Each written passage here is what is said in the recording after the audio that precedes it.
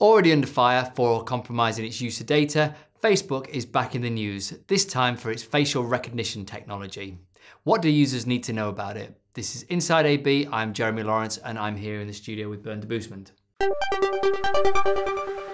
Bernd, so tell us, what's the issue this time with Facebook? Well, Facebook recognition has been around for some time. It was first introduced in 2011. Um, most people probably remember it as the tag suggestions when you put up pictures of friends, people you know. There'd be a little suggestion box that comes up next to it. Uh, but in some parts of the world, for example, in the US and in Canada, it was discontinued uh, due to privacy concerns. But now it seems that they're trying to reintroduce that into parts of the world where it was discontinued. Um, so there's a bit of back and forth going on about it at the moment. Okay. Uh, before we get into that, how does the technology itself work? Well, it's interesting. So Facebook takes it's essentially a, a, unique number. They call it a template based on your face, based on your profile picture and other pictures you've put up.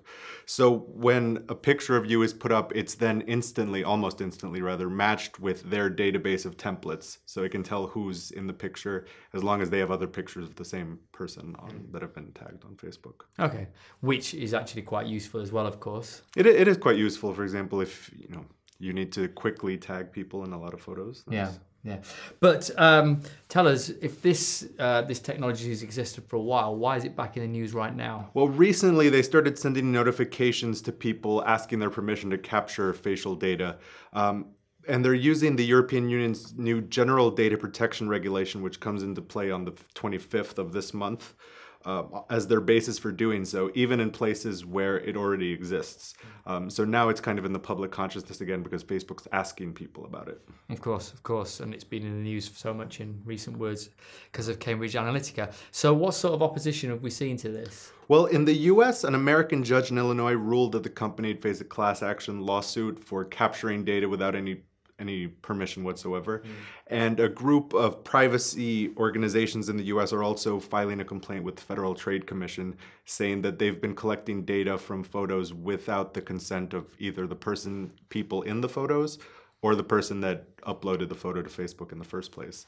Um, so there is, I mean, especially in the US at the moment, there is quite a bit of, of legal back and forth about this particular issue. Okay, so Facebook's woes are kind of continuing.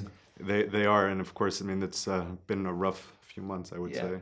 Um, if people want to turn it off, how do they do that? Well, it's quite easy. You just go to settings, and then there's a facial recognition option, and then you just switch it off, and then you're you're free from okay. it if you wish.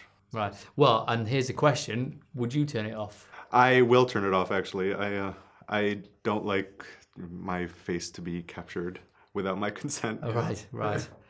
I actually think I'd leave mine on. It's quite helpful for tagging quickly, but. No. So there we are, Facebook still in the news and not necessarily for the right reasons. You've been watching Inside AB with myself, Jeremy Lawrence and Bernd Debusmann. Please do join us every weekday at 10am and subscribe and share. Bye.